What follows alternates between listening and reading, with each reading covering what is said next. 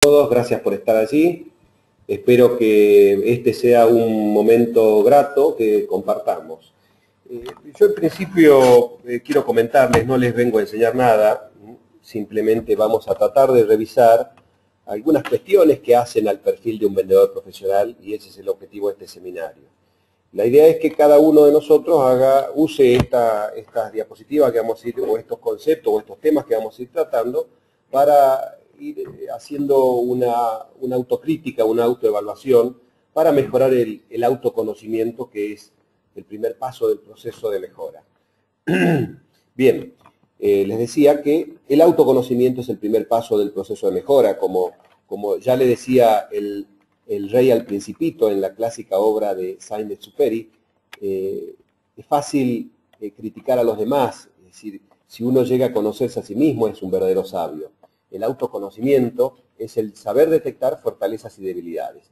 A lo largo de toda esta reunión, de esta charla que vamos a compartir, vamos a revisar alguna, una serie de cuestiones que, tienen, que hacen al perfil de un vendedor profesional y yo espero que esto nos sirva a nosotros como para ir chequeando, tildando o asignando puntaje en cada uno de los aspectos que van a ir surgiendo, a los efectos de mejorar ese autoconocimiento como primer paso del proceso de mejora anotar algunas cuestiones dentro de la fortaleza, otras dentro de las debilidades, y las debilidades son los, los temas que tendremos que mejorar. Bien, eh, uno de los primeros comentarios que me gustaría hacerles, ya para meternos de lleno en el tema, es, son, eh, es acerca de los pilares para el logro de objetivos. Son tres los pilares del logro de objetivos, no solo en ventas, pero ya que estamos hablando de, vendedores, vamos a, tratar de este, de esta profesión. ¿no? Un vendedor tiene que poder hacer el trabajo. Un vendedor tiene que poder vender, tiene que poder hacer un trabajo de venta. Entonces acá hay una serie de mm, características que hacen al perfil técnico o al perfil, al de aptitudes necesarias, un, un, conjunto de aptitudes que hacen necesarias para que la persona esté apta para desarrollar el trabajo. Entonces, el poder hacer un trabajo tiene que ver con el perfil. Él después, además de esto, tiene que saber hacer el trabajo. Esto hace el conocimiento, a la capacitación, al aprendizaje personal. Probablemente uno ingresa en la profesión con poco conocimiento y bueno, va aprendiendo no solo las características de los productos que tiene que vender, sino de cómo lo tiene que vender. O cómo tiene que hacer su trabajo, así como tiene que hacer todas las otras tareas, cómo se hace un boleto de compra-venta, cómo se, cómo se cobra, cómo se cierra la venta, cómo se hace seguimiento, etcétera, etcétera. Entonces, una cuestión clara, la primera es, el vendedor tiene que poder hacer el trabajo y por otro lado tiene que saber hacer el trabajo. Eh, no, vamos a entrar en detalle respecto del perfil en esta reunión. Respecto del saber, ya hemos tratado en otros seminarios eh, el proceso de la venta. Les recuerdo así rápidamente, estos seminarios los pueden volver a ver, son seminarios de aproximadamente una hora y se pueden ver nuevamente en, en www.autologica.com. Eh, eh, les recomiendo a aquellos que quieran revisar el proceso de la venta, las técnicas de cierre, el manejo de objeciones, estrategia de manejo de objeciones, son planificación de ventas y CRM en la venta son temas que ya hemos tratado. Hoy vamos a tratar básicamente lo que tiene que ver con esta parte de, la, de, este pilar, ¿no? el poder hacer. Pero además del perfil, además de poder y además de saber, el vendedor tiene que, el tercer pilar, querer. Y esto tiene que ver con la motivación, lo que mueve a la persona a hacer lo que hace. No alcanza con que yo pueda y sepa hacerlo, tengo que querer hacerlo. Eh, en realidad, si me dicen ustedes, bueno, ¿cuál de estos tres pilares es el más fuerte o el que falta realmente anula a todos los demás es este que está acá en tercer lugar y el que acabo de mencionar. Yo me encontré, hace más de 20 años que estoy en ventas, y me encontré con gente que puede hacer el trabajo, que podía hacerlo, que lo sabía hacer, pero que no lo quería hacer. Y cuando el problema es un problema de actitud, es un problema grave. Lo peor de todo es que la soberbia a uno le hace eh, no ver que el problema es uno, entonces le empieza a echar la culpa a otras cuestiones, ¿no? Y se mete en un círculo vicioso del cual es muy difícil salir.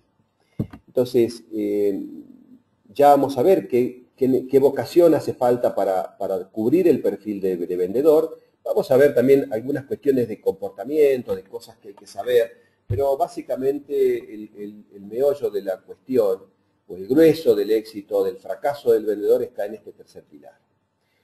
Bien, avancemos un poquito más y acá voy a mostrar una diapositiva con la que empezamos en nuestra consultora este módulo este, en los cursos de venta. Les pido esto, ¿no? que el vendedor, parado desde el punto de vista del cliente, desde digamos, como ve un cliente, define un vendedor profesional. En algunos casos las recomendaciones que piensen en el mejor vendedor que conozcan y traten de describirlo. Aquellos que tengan un papel en limpio a mano, este, les sugiero que eh, hagan un intento. ¿no? Voy a tardar unos segundos, en todo caso, en mostrar lo que, lo que sigue, para que uno haga un esfuerzo de imaginar o recordar un buen vendedor o el mejor vendedor que conozcan y traten de describirlo. ¿Cómo es? ¿Qué hace? ¿Cómo se comporta? ¿Qué tiene que no tienen otros vendedores promedios, como se, se los llama también? Entonces, eh, les doy unos minutos, suelo darle unos minutos. Y lo que voy a mostrar a continuación es el resultado, la conclusión de este trabajo en dos grupos de vendedores, en este caso de medicina prepaga, ¿no? de medicina privada, pero que en definitiva eh, son denominadores casi comunes, diría yo.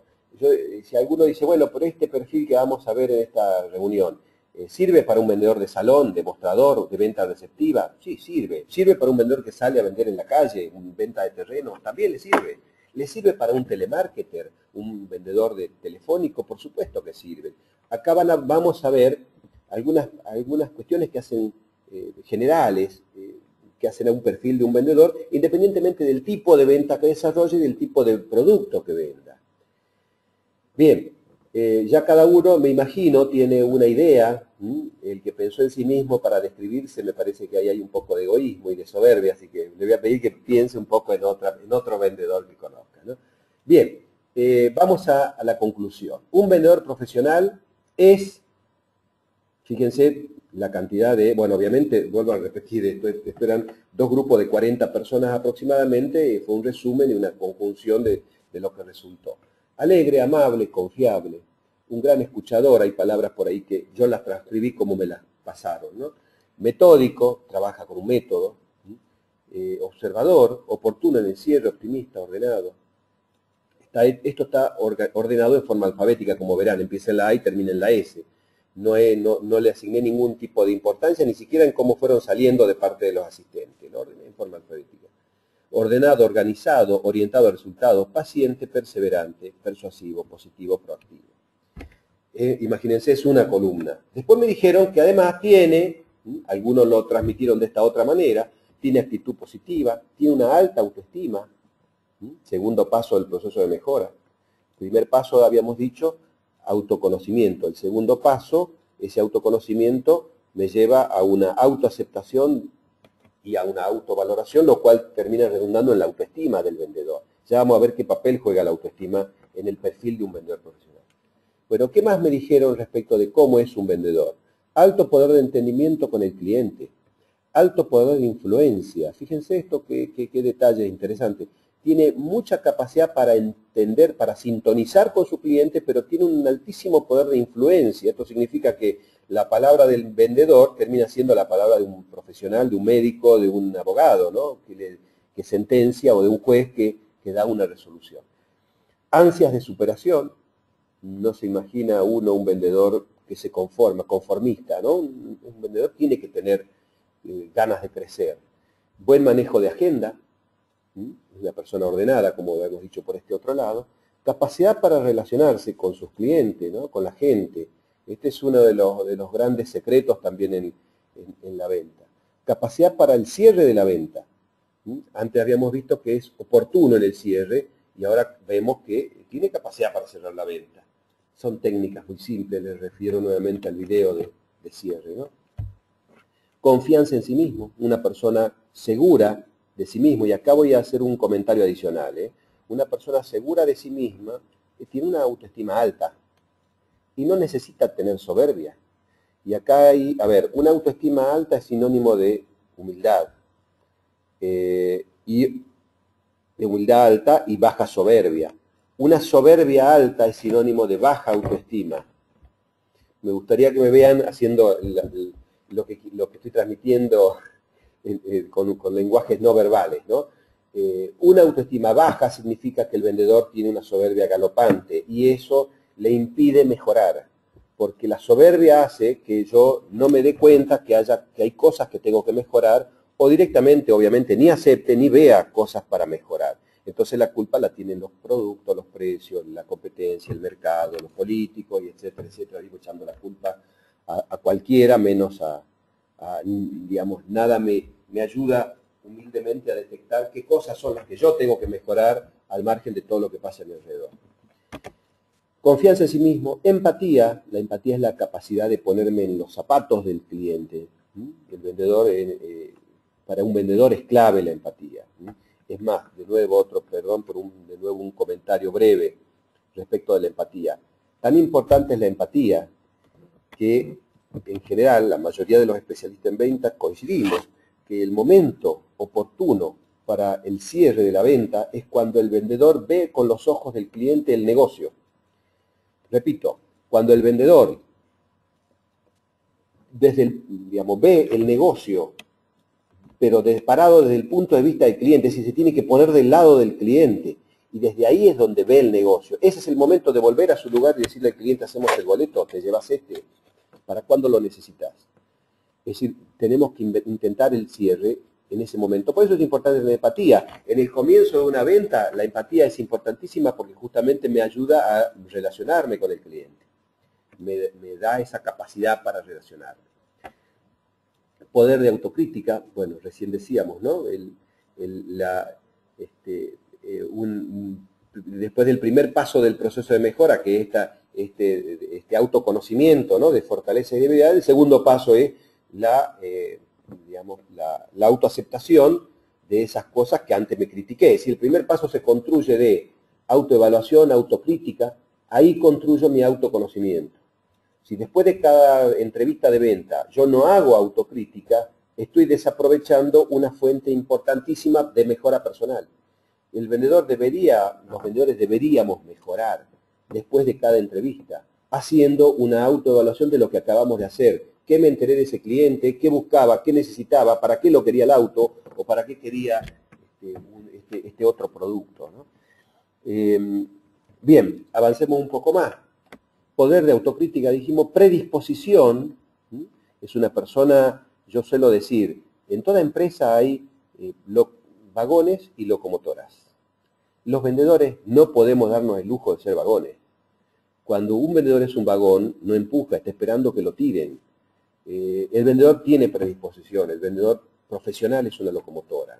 Vive pidiendo perdón y no permiso, digamos, este, y, vive force, obligando a la organización a, a moverse. Obviamente, eh, a veces somos hasta medio caóticos, pero, pero eso hace que no nos durmamos en los laureles. Disciplina. Vamos a hablar de esto más adelante. Le aclaro que estos son, les repito, comentarios que recibí en, dos reuniones con vendedores donde la consigna fue que me digan cómo era un vendedor profesional, que describan un vendedor profesional. Y esto estamos, estoy usando trabajos hechos por vendedores, es decir, la mayoría de las cosas que sé las he aprendido de los vendedores, ¿no? de estar con vendedores en los últimos 20 años. Bien, objetivos claros.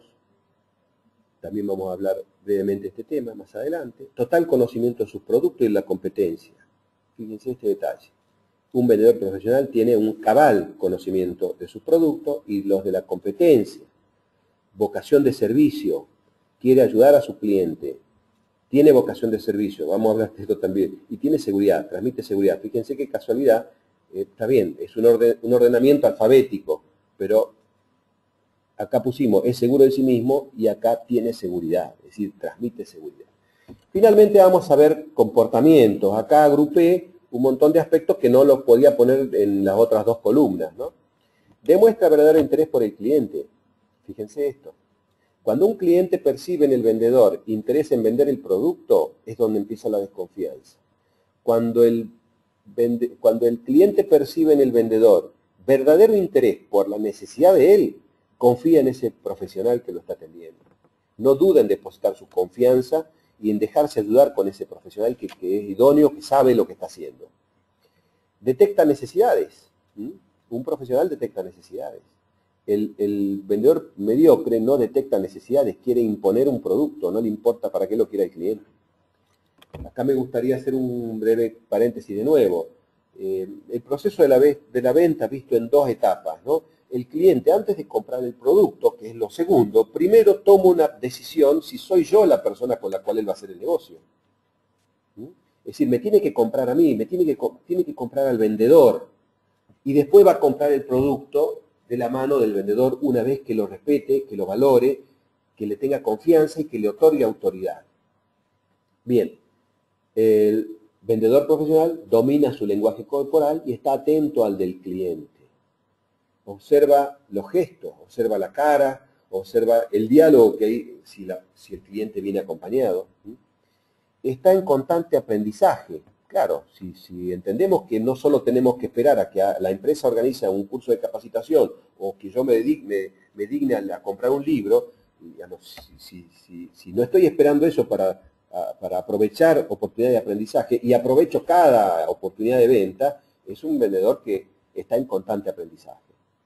Bien, establece acuerdos parciales con los clientes, va haciendo acuerdos, de modo que esto es, esto lo hemos visto con el tema del cierre, lo va ayudando a ir a subir la escalera escalón por escalón. El último escalón es simplemente qué color lo quiere o cómo lo va a pagar. Digamos. No, no, no, es un esfuerzo de subir, de trepar de la planta baja a la planta alta eh, el, cierre. No es eso. Es acuerdos parciales para poder este, facilitarle que el cliente vaya comprando, haciendo pequeñas compras sin decir lo quiero, ¿no es cierto?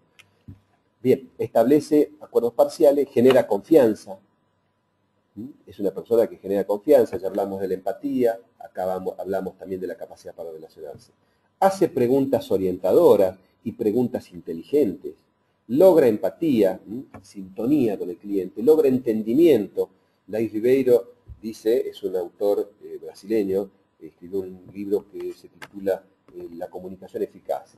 Él habla que para, para poder tener poder de persuasión, poder de influencia, necesito primero lograr poder de entendimiento. Entonces, es lógico que me hayan, hayan puesto esto acá, que el vendedor profesional logra entendimiento. Y después también, vuelvo a la anterior, alto poder de influencia porque logró entendimiento. Prospecta. Prospectar significa identificar potenciales clientes. No está esperando que les, que les, llueven, que les lluevan clientes. Sale a buscarlos.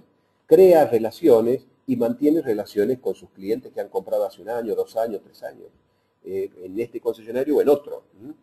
No necesariamente, o, he visto yo vendedores que vendían seguros de vida y que terminaron vendiendo publicidad o al revés, ¿no es cierto?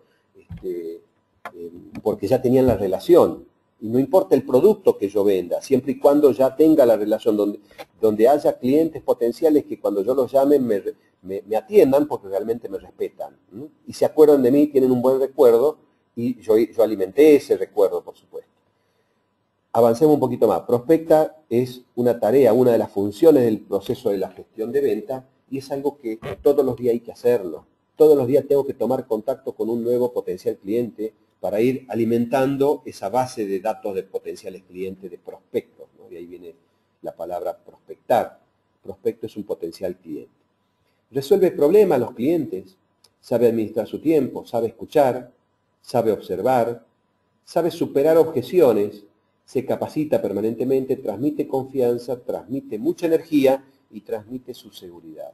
De nuevo, acá de casualidad, vuelvo a insistir, esto no lo produje yo, aparecen, aparece la seguridad del vendedor en las tres columnas al final de, de estas columnas. ¿no? Bien, acá tenemos, después con ustedes, aquel que quiera copiar esto o lo, quiera tener, obviamente lo pide por, por mail, eh, a Autológica o a mí. Eh, después lo van a poder ver en detalle, pero simplemente, vuelvo a recordarles, un resumen eh, de dos reuniones de vendedores, de 40, total 80 vendedores, donde ellos configuraron lo que es un vendedor profesional. De nuevo, acá hay un checklist bastante interesante que me va a servir a mí, incluso yo es lo que recomiendo, como son cosas que ha dicho la gente que ha participado, son ellos lo que lo dijeron, no lo dije yo, digamos, yo lo que hago, lo paso en limpio, por eso lo tengo, ¿no es cierto? Lo paso en limpio, lo pongo en, un, en una hoja y les pido que al lado de cada cualidad se asignen un puntaje de 1 a 10. Ejemplo, vuelvo al primer punto, alegre. El vendedor profesional es alegre. Yo, si tuviera que evaluarme de 1 a 10, ¿qué puntaje me asignaría en esto? De paso, quiero comentarle algo que dice Dale Carnegie. El vendedor triste es un triste vendedor. Un profesional es alegre, disfruta con lo que hace. Yo disfruto con lo que hago, soy alegre, transmito alegría cuando hablo con el cliente, cuando por más que recibo a alguien que no conozco. Bien, de 1 a 10 y un 7. Bien, el objetivo es el 10. El profesional no se conforma con un. En amabilidad, de nuevo, y soy amable. Y bueno, esto me va a ayudar a mejorar mi autoconocimiento, mi autoevaluación, mi autocrítica. También lo que podría hacer es decirle, darle este listado a un cliente, a un cliente con el cual haya muy buena relación, y decirle, ponemos, asigname un puntaje de 1 a 10 en cada uno de estos aspectos. Eso también, o, al cónyuge, ¿no? Pedirle a, alguien que nos conozca. Bueno, acá hay un checklist de condiciones, de, de características de vendedores exitosos. ¿Cuánto me asignaría vos de 1 a 10 en cada uno de estos aspectos? Un trabajo arduo, obviamente, y esto también para los jefes de ventas, ¿no? Es interesante que puedan evaluar en cada uno de sus vendedores cada uno de estos aspectos. Obviamente que para poder poner, asignar un puntaje, como yo como líder de ventas tengo que conocer a mi gente. Y acá la soberbia nos podría hacer pensar, este es un palo para los jefes, no solo para los jefes un palo, ¿no? Es un palo para todos. Bien, ustedes se habrán preguntado, algún observador habrá dicho, ¿por qué hay algunos ítems que tienen puntitos celestes y todos los otros puntitos verdes? Qué lástima que no tengo la devolución de algunos de ustedes, ¿no? Porque achiqué, para, para no distraerme, achiqué los comentarios. Después voy a dar tiempo para revisar si han hecho preguntas y este, ver si las puedo responder o para ver cómo podemos comentar. Pero sí me gustaría comentar esto. Esto lo vengo haciendo de hace aproximadamente 10 años. No es algo nuevo, no es que se me ocurrió ahora. Entonces ya hace bastante tiempo descubrí algo, analizando, analizando esto que me dicen los mismos vendedores respecto de cómo es un profesional. Pero para explicar eso, me, los voy a llevar a otra analogía, los voy a llevar a otro terreno. Los voy a llevar a un ejemplo. Vamos a suponer que tenemos una eh, pequeña industria metalúrgica, o una industria metalúrgica. Y estamos, somos empresarios, ¿no? Y estamos buscando un tornero. Eh, seguramente cuando uno piense en, el perfil del tornero, en la condición esta de, de, a ver quién puede ser tornero, quién se va a postular o a quién voy a elegir, y lo primero que voy a pedir es conocimiento del torno y experiencia en el manejo de un torno. No voy a entrar en detalle, mm, es simplemente una, analogía a la que estoy haciendo. Bien, pero además de conocimiento y experiencia en el manejo del torno, experiencia comprobable, ¿qué más le voy a pedir a esa persona? ¿Qué más voy a esperar de esa persona?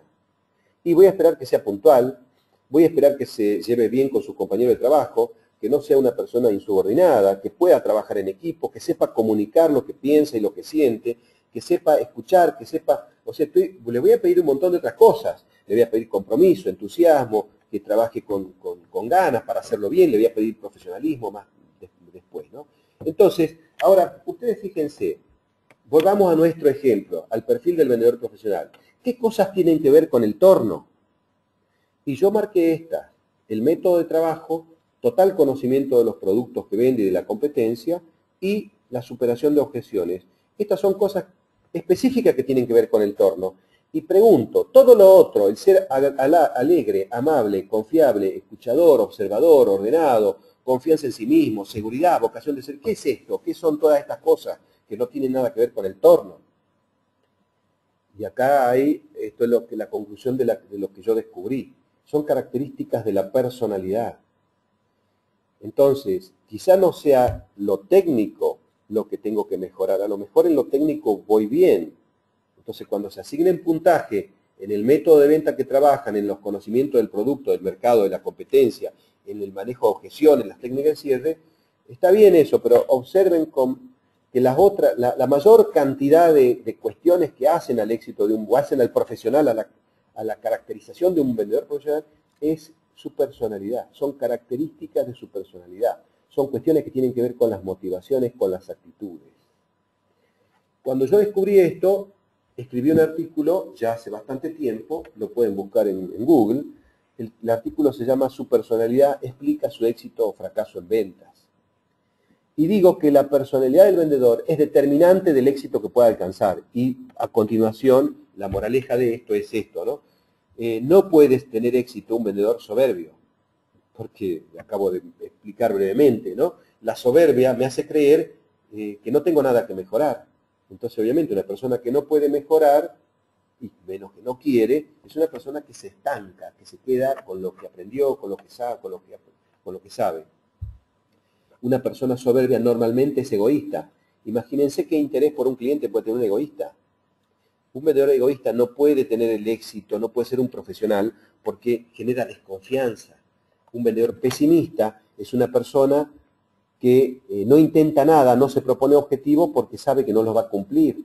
Una persona negativa y desagradable. Termina esto casi, eh, y yo diría casi en este orden. Estas son las características de este personaje de la derecha de un fracasado. Y lamentablemente yo tengo con dolor en el alma que decirle, señores, he, visto muchos vendedores con eh, varias de estas características y, esta, y la soberbia es tan sutil que me impide ver que el problema soy yo. Dicen que la soberbia muere 24 horas después que murió el ser humano. O sea, es, algo grave.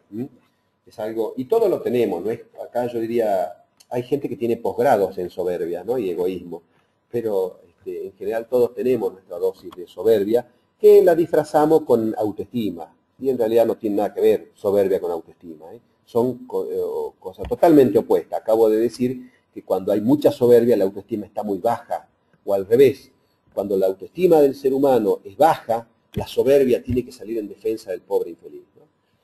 Avancemos un poquito más al respecto de qué es esto de la, de la personalidad.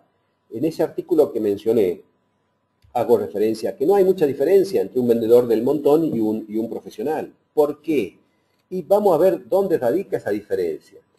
La personalidad, que vuelvo a insistir, la gran diferencia está ahí, el grueso del éxito del vendedor está en, en, aquellas cuestiones de la personalidad, por eso insisto en la, importancia de este libro que recomiendo con mucho fervor, el de Dale Carnegie, Cómo ganar amigos e influir sobre las personas. Es un libro que ya tiene muchos años. Eh, la organización del Carnegie sigue de una manera exitosísima en todo el mundo. Eh, he tratado de buscar um, información o bibliografía más nueva, pero sinceramente tengo que decirles que eh, si alguien tiene que, digamos, que quiere empezar con el pie derecho en venta, tiene que leer ese libro. Si alguien está hace 30 años en venta, tiene que leer ese libro. Cómo ganar amigos e influir sobre las personas. Bien, volvamos al tema. La personalidad básicamente tiene dos grandes componentes, si pudiéramos transmitirlo, o si yo pudiera, que no soy psicólogo, obviamente, transmitirlo de esta manera. El temperamento, que es como el instinto en el ser humano. El, animal tiene instinto solamente, no tiene carácter. El animal obedece a un instinto, que es lo que le dicta justamente la naturaleza de, de ese animal. En cambio, el ser humano, además de ese instinto, que se llama temperamento, que es la herencia genética, lo que, lo que nos tocó al llegar y los primeros años, marcados por los primeros años de vida, donde el ser humano no tiene capacidad de aprendizaje, digamos, de mejora personal, pues no tiene, una criatura hasta los 10 años no tiene la posibilidad de, un niño hasta los 10 años no tiene la posibilidad de hacer una autocrítica, no puede hacerla. Entonces, ¿cómo construye la autoestima una criatura con lo que le decimos los adultos? Si los adultos les decimos, eh, sos un inútil, un estúpido, esa criatura, ese nene, esa nena, termina creyendo que es un estúpido y un, inútil, porque no le sale la A. Mientras tanto, ¿qué le decimos en realidad? Por más que le salga un garabato, cuando es chiquitito, le decimos, bueno, qué lindo que te salió, y eso, es, eso alimenta la autoestima de esa criatura. Cuando en los primeros 10 años de vida un ser humano recibió muchas críticas, muchas cuestiones negativas, eh, va creciendo con una autoestima pobre, con un temperamento dañado, por decirlo de alguna manera. Pero el ser humano no es solo temperamento, esos son los animales. El ser humano también tiene carácter, que es el autocontrol de ese temperamento. El temperamento sería algo así como lo que tengo ganas de hacer y el carácter es algo así como lo que tengo, lo que debo hacer. A ver, tengo, tendría que leerme un libro, el que acaba de recomendar Rodolfo, pero eh, me, dan ganas de ver televisión. Entonces, no, dejemos el libro para más adelante, vamos a ver televisión, vamos a dormir un rato a la siesta. Y bueno, ahí están, así surgen los actos. El ser humano es un ser libre, que tiene dos potencias espirituales básicas que son la inteligencia y la voluntad. Con la inteligencia discernimos lo que conviene y lo que no conviene y con la voluntad hacemos o no hacemos, decidimos. Y así surgen los actos, con un juego de inteligencia y voluntad. Vuelvo un poquito a, lo que, a la cuestión de la personalidad. Si bien es cierto hay dos componentes adicionales, como el rasgo y el estado, aquellos que quieran profundizar en esto van a tener que hacer como yo, que me tuve que meter en cuestiones de psicología humana, ¿no? Pero creo que con estos dos componentes, temperamento y carácter, podemos interpretar claramente nuestra personalidad.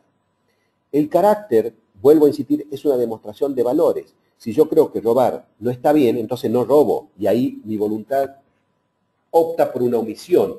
Si yo considero que está bueno sonreírle a la gente, entonces decido sonreírle. Y ya que estoy, eh, hago referencia a un comentario que aparece en el libro de Dale Carnegie, Cómo ganar amigos, destina todo un capítulo a hablar sobre la sonrisa y la importancia que tiene la sonrisa en la venta, en la cara de un vendedor. Transmite un montón de cuestiones, ¿no? El lenguaje no verbal. Usted me, da gusto verlo, estoy acá para servirle, estoy para ayudarlo, eh, disfruto con lo que estoy haciendo, realmente soy un profesional. Todo eso dice una sonrisa. Em, ahora, Dale Carnegie se plantea después de decir todo esto y de explicar la importancia de la sonrisa, y dice, ¿y si no tengo ganas de sonreír? Entonces él mismo se responde. Si no tiene ganas de sonreír, lo que tiene que hacer es esforzarse por sonreír. Y agrega algo así como lo siguiente. Pareciera que el sentimiento, perdón, que el acto, que la sonrisa, sigue a un sentimiento, que es la alegría, la felicidad, un chiste que alguien contó. Pero no es así. el sentimiento y el acto van juntos y si aprendo a controlar el acto que está bajo el control de mi voluntad, voy a terminar controlando el sentimiento que no lo está. Esto es, yo decido si soy feliz o soy un infeliz. Bien, la repetición de actos me hace adquirir hábitos. ¿Qué, hábitos? Y el hábito de ser una persona agradable, sonriente. Una persona adquiere el hábito. Si el hábito, digamos, de por sí mismo el hábito no es ni bueno ni malo, Ahora, si es bueno, se transforma en una virtud y si es malo, se transforma en un defecto. Y esto es lo que somos, un conjunto, los seres humanos, a esta altura de nuestra vida, cada uno con la edad que tenga, es un conjunto, es un conjunto de hábitos, ha logrado acuñar, acumular un conjunto de hábitos. Muchos son los de arriba y algunos son los de acá abajo.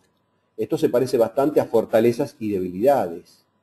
Entonces, la conclusión de esto es, el profesional es alguien que se esforzó un poco más que el mediocre en dominar su temperamento y generar actos virtuosos que lo llevaron a adquirir hábitos de excelencia.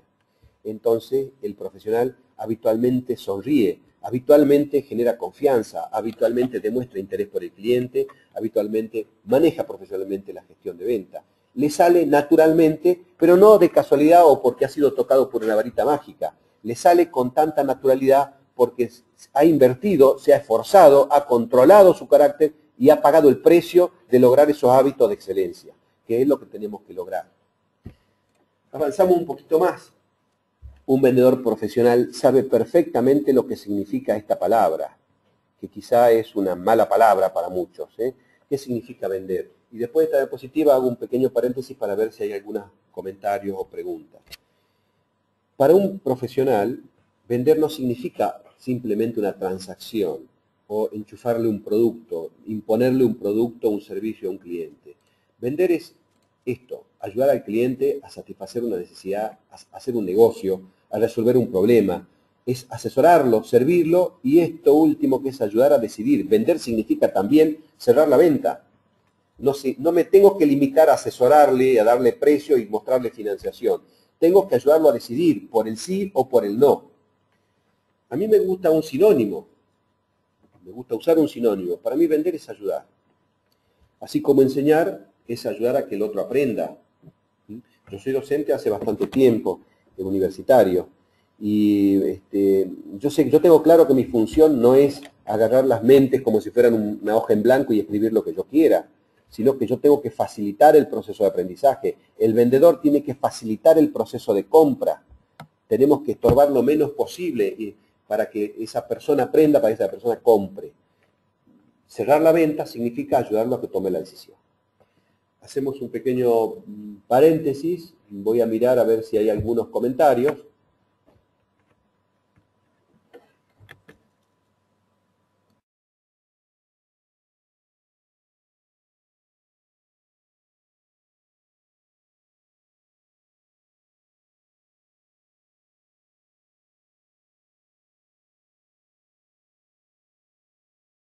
Bueno, vamos a continuar porque se ve que o, está todo claro o la verdad que no estoy diciendo nada nuevo, evidentemente.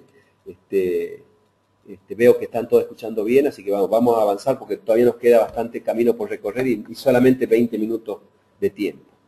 Bien, avanzamos un poquito más.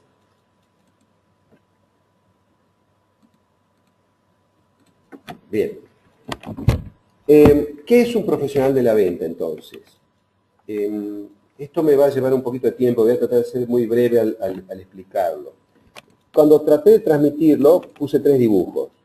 Inteligencia, voluntad y pasión. Recién hablábamos de que estas son dos potencias espirituales que tiene el ser humano. La capacidad de discernir, cosas que no lo tienen los animales, y la voluntad para decidir hacer o no hacer lo que la inteligencia me dice que yo debería hacer o no debería hacer, ¿cierto? Pero bueno, en realidad quiero confesarles que cuando empecé a plantearme esta, esta cuestión de cómo, de si se puede ser un profesional en la venta y cómo se puede llegar a ser un profesional, entonces empecé, empecé por lo básico, busqué en el diccionario. En el diccionario no me aportó mucho, dice profesional es persona que ejerce una profesión. Bueno, seguí buscando en el diccionario, busqué profesión, a ver qué pasaba, ¿no? Este, dice, bueno, larga dedicación académica con aplicación al estudio, obtención de un título, algo así hace referencia. Entonces dije, no, no me convence esto. Vi algunas películas sobre vendedores profesionales, leí el libro de Leslie Hades, El vendedor profesional, y se crea alguna forma de definir, ¿no? Entonces dije, bueno, profesión es la perfección de una vocación. ¿Y qué es una vocación? Porque, a ver, un médico tiene vocación para la medicina, estudia, perfecciona su vocación y termina recibiendo un título o se termina recibiendo de médico, eh, graduando de médico. Un abogado lo mismo, un arquitecto lo mismo, un contador tiene inclinación, digamos, una, cierta tendencia hacia eso, decide estudiar, perfecciona su un religioso, una religiosa. Tiene una vocación, un llamado, por eso apelo a esto porque es algo de adentro que viene, ¿no? Eh, ingresa a una, a una institución este, religiosa y este, perfecciona esa vocación y termina graduándose de religioso o religiosa. Ahora, ¿de dónde sale la vocación? Entonces yo digo, es una inclinación del espíritu y del corazón, de lo más profundo del ser humano. Del espíritu, donde aparecen estas dos potencias espirituales, la inteligencia y la voluntad. Y del corazón, no como el órgano que bombea sangre, sino como el órgano donde inhieren los sentimientos, que su grado más extremo es la pasión. Entonces, ese amor apasionado o el odio apasionado este, a, un equipo de fútbol, del, digamos, contrincante, eso es el, grado máximo del, del, amor o del sentimiento. Entonces digo lo siguiente, aquel vendedor, aquella persona, no importa si es vendedor o lo que sea, que aplica el 100% de su inteligencia, el 100% de su voluntad y el 100% de su capacidad de querer, que el grado extremo es la pasión, en la perfección de su vocación termina siendo un profesional. O sea, hay que poner el 100% de lo que nos tocó. La inteligencia, el coeficiente intelectual o el, emocional, no importa, cualquiera, y ahí cada uno elige el que quiera. Un 90% de inteligencia, 85% de pasión y el 78% de, de voluntad no define a un profesional de menor categoría, define al mediocre. Insisto en que no hay tanta diferencia entre un mediocre y un profesional. En todos los vendedores profesionales yo observo estas tres cuestiones ponen el 100% de su inteligencia, el 100% de su voluntad y realmente la pasión en lo que hacen. Ayer asistí a un curso de capacitación pedagógica, como soy docente, este, de, una, de una secretaria académica de una universidad de las que doy clases, y terminé felicitando. ¿Y saben lo que le dije? Realmente se nota que usted disfruta con lo que hace y le pone pasión a esto, porque lo logró transmitir. Sí, me dice, realmente estoy enamorada de lo que hago es que es lógico, alguien que realmente no disfrute de lo que está haciendo nunca va a poder llegar a hacer algo grande. Un vendedor que no disfruta de estar en contacto con los clientes nunca va a llegar a ser un profesional. Entonces, es más, esa es una medida de qué nivel de profesionalismo puedo yo llegar a tener, cuánto disfruto de estar con clientes. a pesar de que me va a costar tomar contacto con gente eh, que no conozco, por temor a lo desconocido, por miedo al rechazo. Sin embargo, tengo que aprender a disfrutar de lo que hago.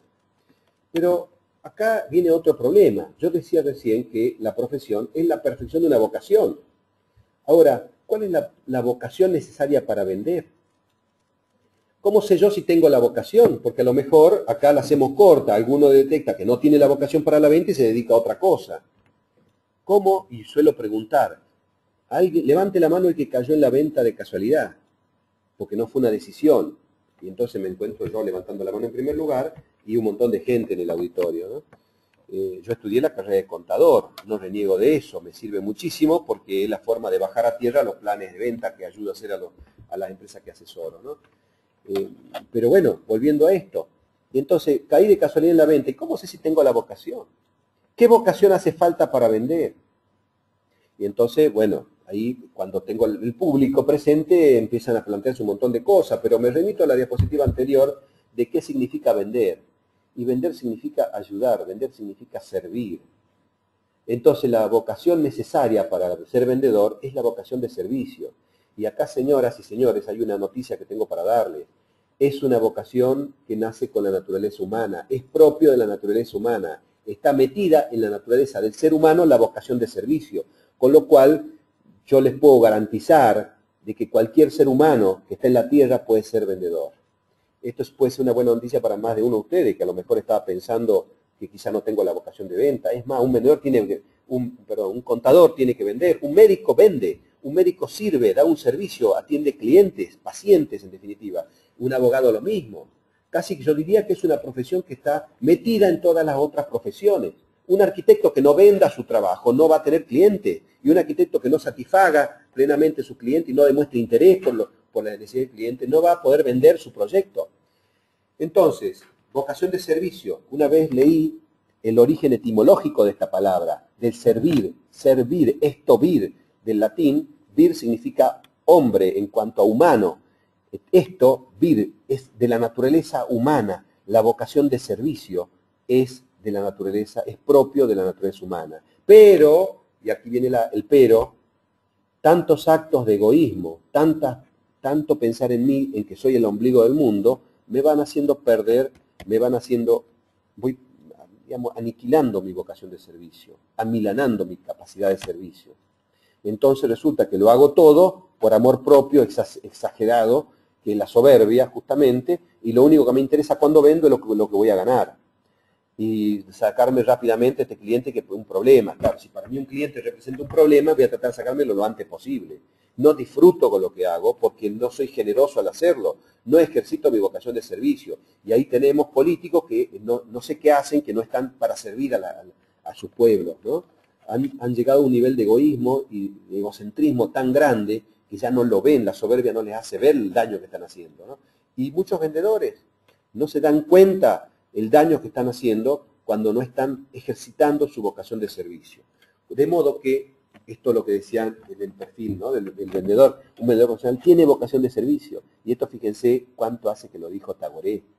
Tagoré tendría que averiguar cuándo nació y murió para saber cuántos años tiene cuántos siglos tiene esta, esta frase. El hombre que no vive para servir no sirve para vivir.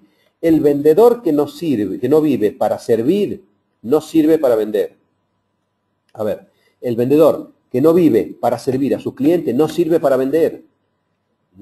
Tengo que tener ambición, es verdad, pero tengo que tener claro que mi misión es ayudar a los clientes a hacer un buen negocio, a resolver sus problemas, a satisfacer sus necesidades. Y eso me va a dar autoridad para, para después, en el momento del cierre, ayudarle a que tome la decisión.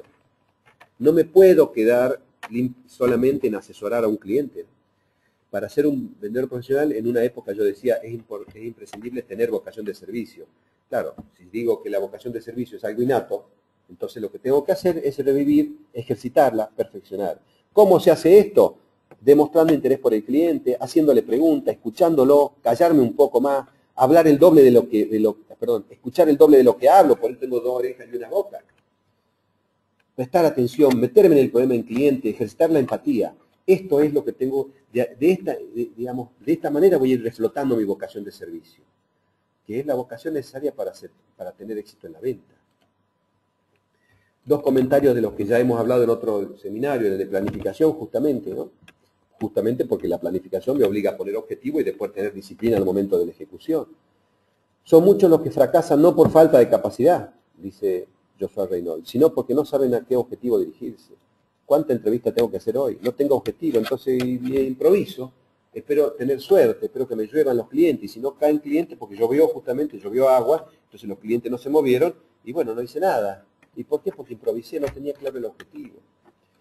Y una este, maestra de la disciplina, esta este, Madre Teresa de Calcuta, una mujer que no tenía apellido, no tenía dinero, no tenía nada, y sin embargo logró este, hacer una, montar una organización a nivel mundial para servir a la gente. Cuando le preguntaron, un periodista le preguntó, pero madre, usted no tiene, digamos, un metro treinta de altura, 30, 30 kilos de peso, con, más o menos con esas características, falleció contagiada por las enfermedades de los enfermos que cuidaba. Eh, y le preguntó el, el periodista, ¿cómo lo logró a esto? Y ella contestó esto, con disciplina. La disciplina es el mejor amigo del hombre porque ella le lleva a realizar los anhelos más profundos de su corazón. ¿Quiere ser una persona que sonríe a su cliente, una persona alegre? Disciplina, amigo vendedor. Esfuércese por sonreír a la gente, en su casa también, a su hijo. Quiere aprender a escuchar, escucha a su hijo, a su esposa, a su marido. Escucha al cliente, escucha a su compañero de trabajo. Trate de hablar menos, hay que bajar un poco los niveles de soberbia.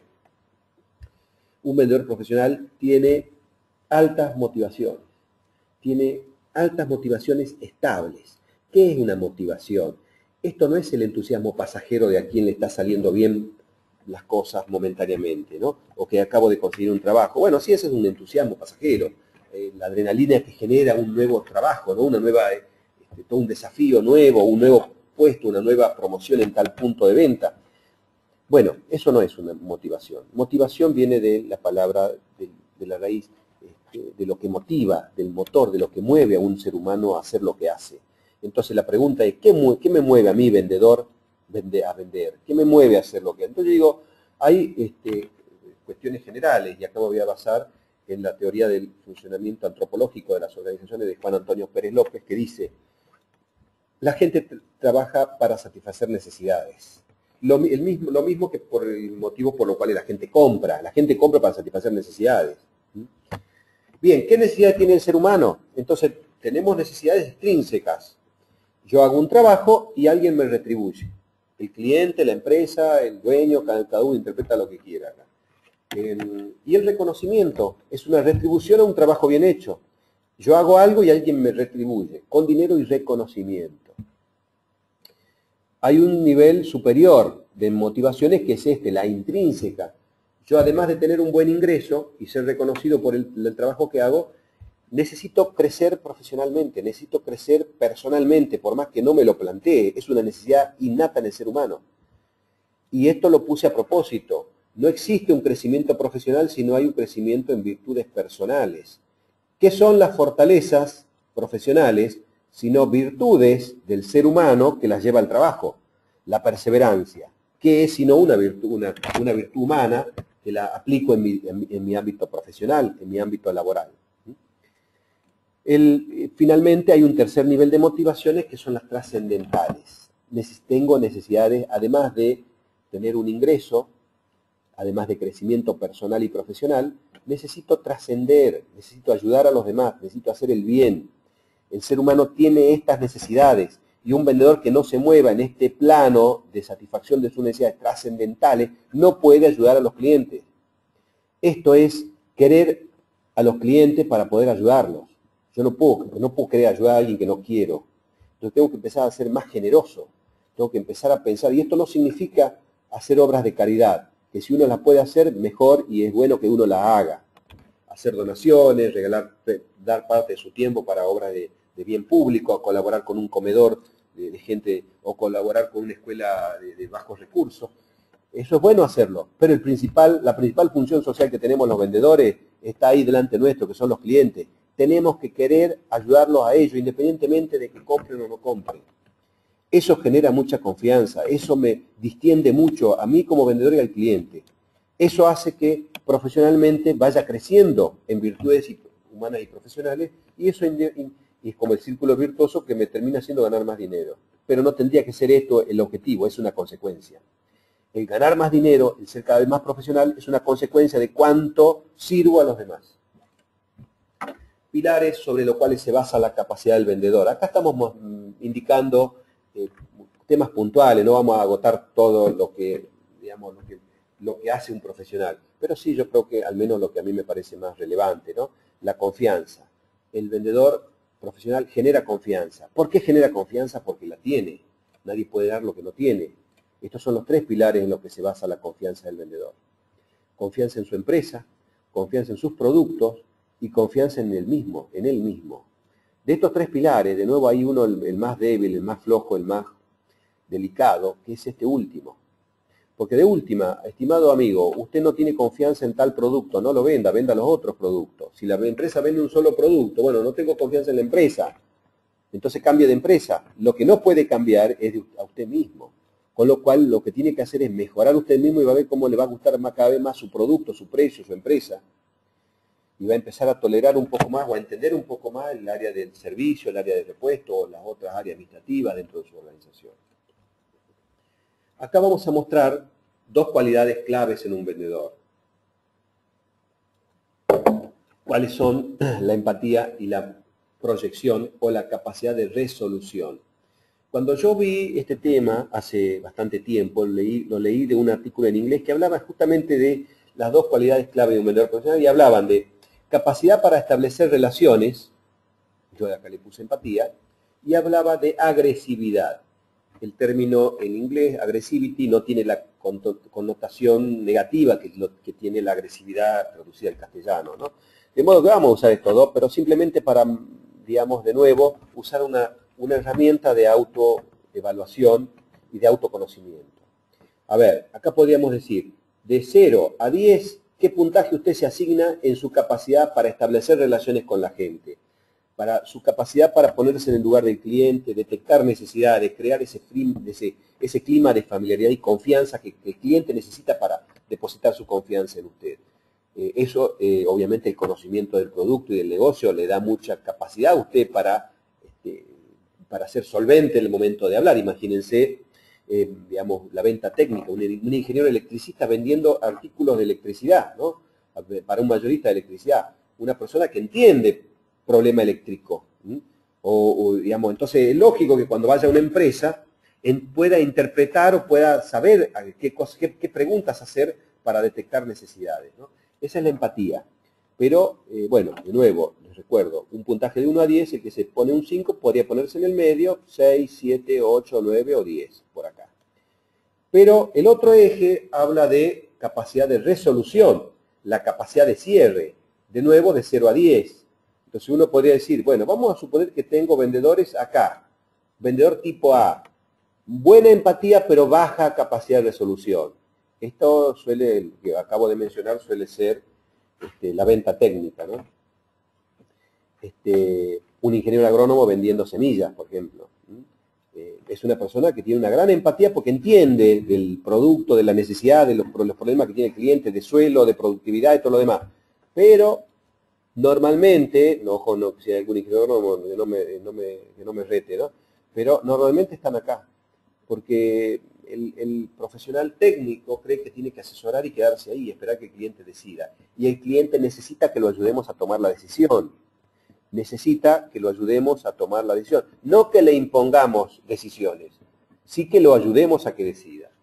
Bien, Vamos al otro extremo, vendedores con poca capacidad para establecer relaciones, poca empatía y mucha agresividad. El caso extremo, acá en esta punta, podríamos decir, cero empatía, cero empatía y 10 en agresividad, es el palo y a la bolsa. Vendedor que llega, presenta el producto, presiona al cliente para cerrar, obviamente se le escapan algunos, clientes de poco carácter terminan comprando para escaparse de ese delincuente prácticamente, ¿no? Es el típico caso de, yo no sé si en otros países también, pero en algunos países del Cono Sur este, la venta de tiempos compartidos, un producto excelente, eh, existe realmente, pero lo vende de una manera, evidentemente porque debe dar resultado así, ¿no? Una manera donde presionan al cliente, no le importa un cuerno, porque una vez que le vendió, ya le, Ya se cerró. Bueno, acá me está diciendo Sebastián que les comente que vamos a invertir 10 minutos más probablemente para poder completar esta exposición. Les pido disculpas por, por, ahí el fervor me hace que me exceda demasiado en algunos temas, pero no quiero dejar de tocar los, los temas que, este, que me he propuesto tratar. Eh, aquel que no pueda mantenerse en línea porque tiene otros compromisos, les pido disculpas, pero eh, sí les digo que pueden verlo después al video completo ingresando en, en autológica.com. Bien, suelo preguntar cuál de estos dos vendedores es mejor. Vendedor con buena capacidad para hacerse amigo de la gente, pero que no vende, que no cierra, y vendedor con muy poca capacidad, crea clientes de muy baja lealtad, ¿no? presiona, incluso trae clientes que no encajan en el perfil de la empresa, ¿no? Este, pero cierra venta. Poca calidad, poca empatía, pero cierra venta. ¿Cuál de estos dos es mejor? Peor, de esto, peor que estos dos es este que está acá. Este que está acá, el vendedor acá no, no tiene ni una cosa ni la otra. Por lo menos este cierra venta y por lo menos este se hace amigo de la gente.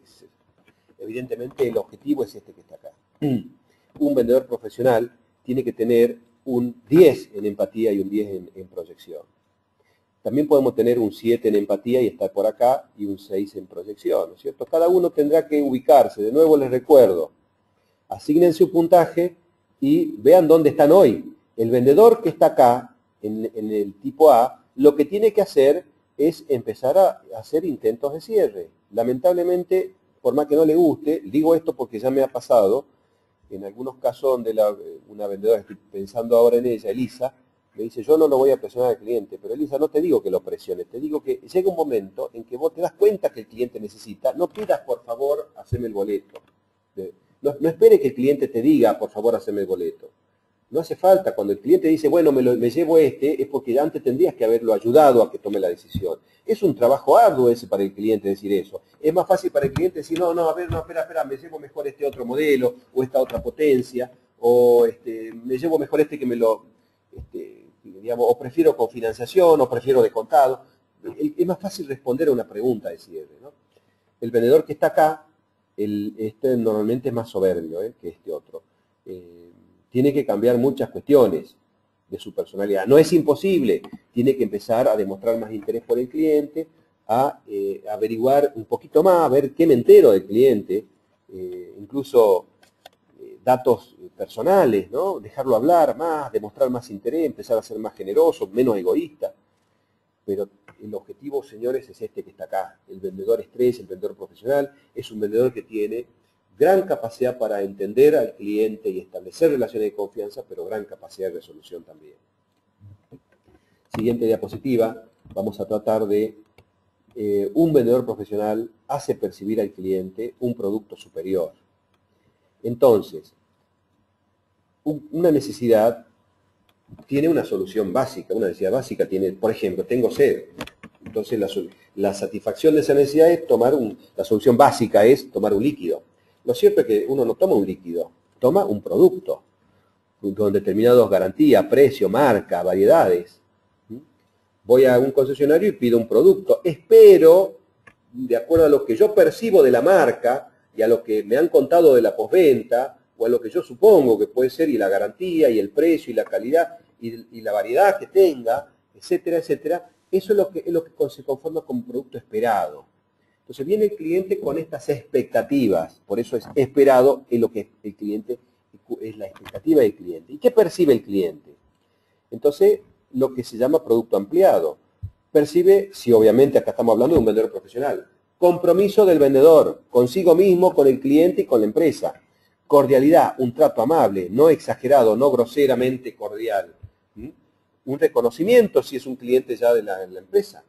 Agilidad en el trato, información, conocimiento, calidad de asesoramiento, actitud de servicio, es oportuno, es íntegro, entusiasmo, anticipación, genera confianza. Eso percibe. El producto se percibe como lo vemos ahora. Ahora, vuelvo para atrás. Un producto que tenga, perdón, todos los antónimos de esto, falta de compromiso, falta de amabilidad de parte del vendedor, no lo reconoce a un cliente que a lo mejor hace 5 o 10 años que está comprando, una atención pachorrienta, un mal, asesoramiento, un desconocimiento del vendedor por parte de lo que está vendiendo, falta de una demostración de actitud de no servicio, etcétera, falta de entusiasmo.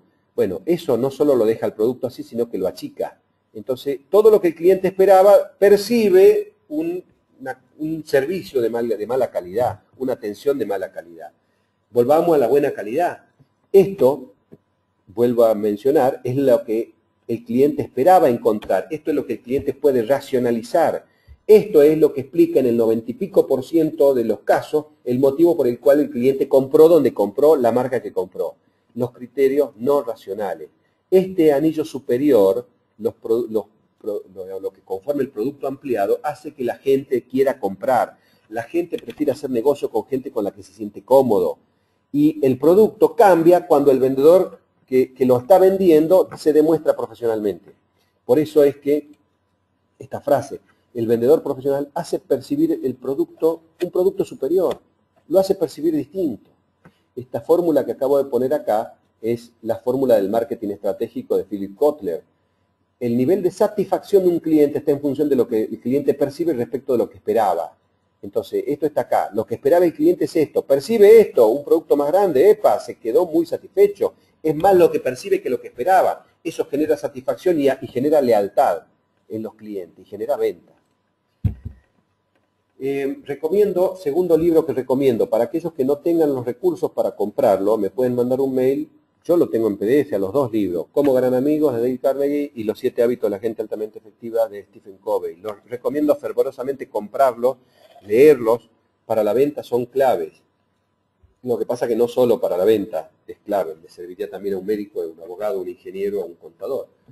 ¿Qué dice Covey? Él habla de estos siete hábitos de la gente altamente efectiva. Yo diría, estos son los siete hábitos de los vendedores profesionales. Voy a ser breve y, los refiero. hay unos videos muy interesantes en YouTube donde pueden ver a Covey este, explicando brevemente estos siete hábitos. Los primeros tres hablan de esto, ¿no? la proactividad, el ser proactivo, el ser locomotor y no vagón, el ser protagonista de la vida y no ser un espectador simple. ¿no? el hacer que las cosas sucedan, en movernos para que las cosas, para que las ventas se consigan, para que las entrevistas las pueda llegar a conseguir. Empezar con un fin en la mente es tener claro el objetivo. No solo el objetivo mensual de venta o de gestión, de visitas, de entrevistas, de contactos telefónicos, sino el objetivo en la vida. ¿A dónde apunto? ¿Qué quiero ser? ¿A dónde quiero llegar con mi nivel profesional? Y hacer primero lo primero significa que ir haciendo cada escalón de acuerdo a lo que, a las prioridades. Después vamos a mostrar otra diapositiva que hace referencia a este, el primer libro que escribió Covey, que es justamente se llama así, primero lo primero. Esto me lleva de la, eh, acá hay una letra en blanco que no se ve, perdón, acá dice dependencia, a través de estos tres hábitos el vendedor logra la independencia. El ser humano en sí también, nacemos, nacemos dependientes de que alguien nos dé comer, nos cambie, nos lleve, nos traiga, dependemos totalmente Después tomamos iniciativa, digamos, empezamos a adquirir lo que se llama victoria privada. De nuevo está escrito en blanco acá, por eso no se ve. Esto me lleva a la victoria privada y la victoria privada con estos tres hábitos me lleva a la independencia. Ya no dependo de que la empresa me asigne un dato para que yo venda. Ya no dependo de una publicidad. Yo gestiono mi, soy independiente. Y esto me lleva al paso siguiente, a los tres hábitos siguientes que son el 4 es pensar en ganar, ganar, esto es clave en la venta. Yo voy a ganar si el cliente gana. Acá hay tres patas y la empresa también gana, ¿no? Entonces, no pensar en que voy a ganar yo a costa del cliente. Eh, primero, el hábito 5, ¿no? Esto ya son, esto me lleva a la victoria pública. A ver si la tengo, no, no, tengo, no, se ve, está en blanco nuevamente, ¿no? Victoria pública, eh, esto, digamos, me, lleva de la independencia a la interdependencia. Eh, Primero, tengo que entender al cliente y su necesidad para después que el cliente entienda, para yo pretender que el cliente entienda la propuesta que le estoy haciendo. Sinergizar significa que eh, el trabajo que hago con el cliente o con un compañero de trabajo no es simplemente la suma de dos de aporte, es mucho más que eso. Sinergizar es lograr producir resultados mucho mejores para el cliente, para mí, para mi empresa. Un cliente para toda la vida, por ejemplo.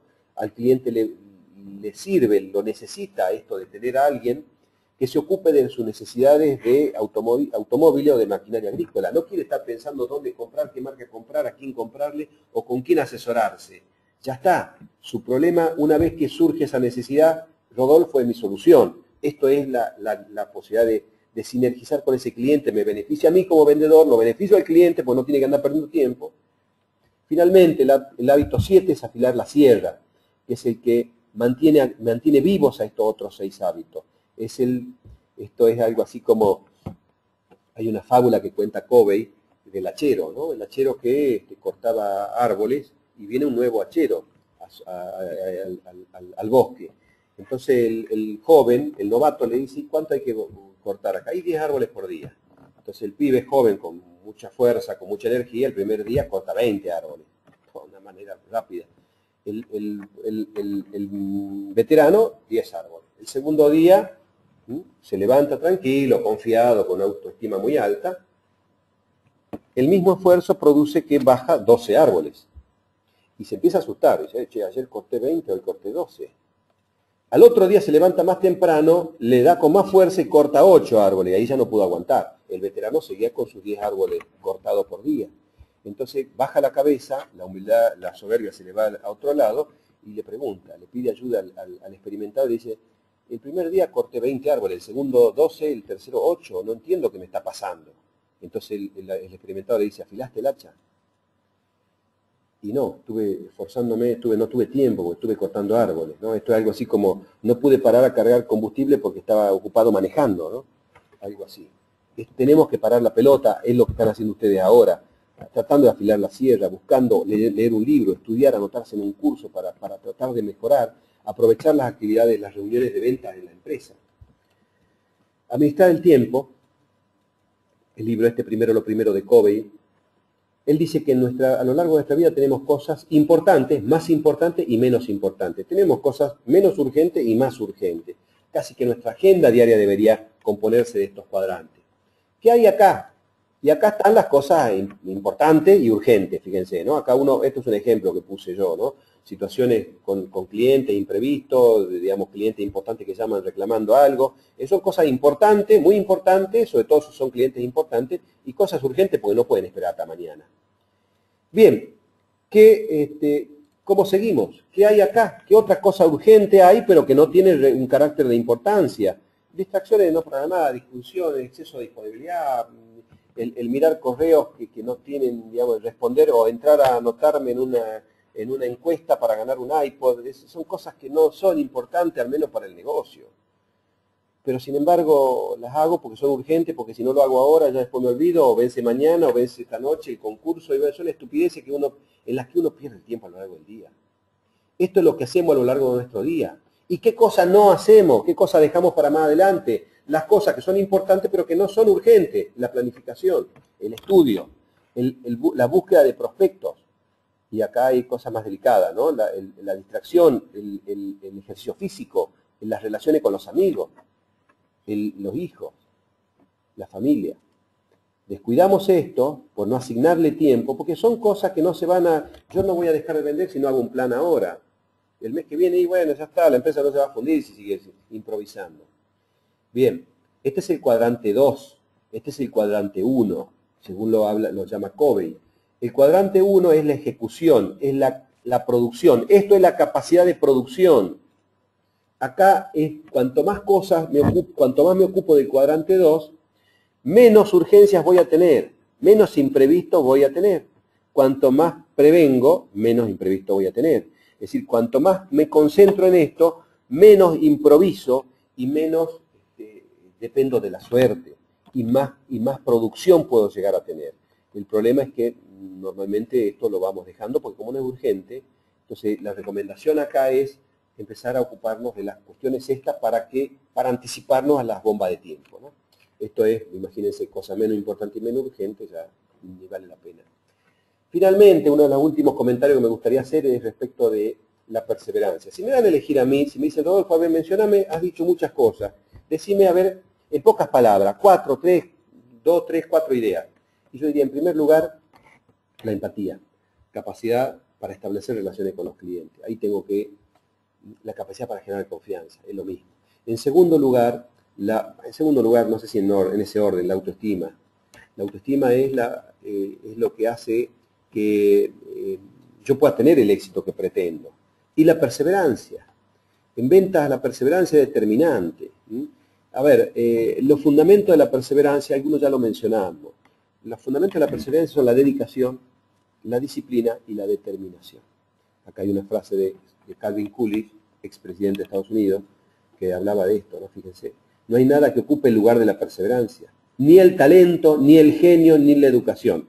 La perseverancia y la determinación a lograrlo son por sí mismas omnipotentes. Lo dice una persona que llegó a ser presidente y que quizá no tenía ni talento, ni genio, ni la educación para, sin embargo, lo que sí tenía era la perseverancia. Tracy dice, en su libro Estrategia Eficaz de Venta, ¿por qué fracasan los vendedores? Porque tienen miedo a, ser rechazados, por temor a lo desconocido, por temor al fracaso, y acá viene una bomba, ¿no? El miedo a fracasar pesa mucho más que el deseo de alcanzar el éxito. Tengo miedo a fracasar, pero también por otro lado tengo ganas de, tener éxito. Y por el temor al fracaso pesa mucho más. Esto tenemos que saberlo. Esto no lo entiendo, temor al éxito. Quizá porque a lo mejor me, exijan cada vez más y no estar dispuesto a pagar el precio de ese éxito, quizás, ¿no? Pero fíjense esto que es lo más tajante que tiene este, esta diapositiva. La causa principal de los fracasos en las ventas es un bajo nivel de autoestima. A partir de ese bajo nivel de autoestima se llega a sentimientos de inferioridad, de infravaloración y de indignidad, que revierten en sentimientos de incompetencia e, y de inadecuación. Les recuerdo que la baja autoestima obedece a una alta soberbia. La baja autoestima es un sentimiento que aparece cuando uno no se considera lo suficientemente competente. ¿Cómo hay que hacer para mejorar la autoestima? Mejorando el autoconocimiento, la autocrítica, la autoevaluación, detectando las cosas que tengo que mejorar y esforzándome por mejorar. El éxito en ventas, Vince Lombardi, un entrenador de fútbol americano, tiene un video muy lindo que lo vi hace un tiempo, un video yankee norteamericano, el segundo esfuerzo se llama. Eh, era un entrenador de fútbol americano y fíjense lo que decía, en un partido de fútbol el, el éxito es 25% físico y 75% mental es el equipo mejor preparado mentalmente el que gana el partido, no el que, tiene, y fíjense que estoy hablando de un deporte donde el físico es importantísimo, ¿no? son, el, fútbol americano es un deporte que se juega con armaduras prácticamente porque se chocan y se rompen el alma. Él obviamente lo menciona Vince Lombardi porque después se empezó a dedicar a venta y en venta dice esto, eh, el éxito es 25% técnico y el 75% está en la cabeza del vendedor. Clement eh, Stone y Napoleón Hill en el libro Actitud Mental Positiva, un camino hacia el éxito, y Dale Carnegie en el libro Cómo ganar amigos, e incluso las personas, dan estos porcentajes. Yo los puse juntos porque dan los mismos porcentajes y dicen algo similar. El éxito de la venta depende un 15% de la capacidad técnica del vendedor, de las aptitudes, de los conocimientos del mercado, de la competencia, del proceso de la venta. Y el 85% del éxito depende de la capacidad mental y de la decisión que tenga el vendedor de tener éxito. Finalmente, finalmente voy a apelar a lo que dice, esto lo chicos.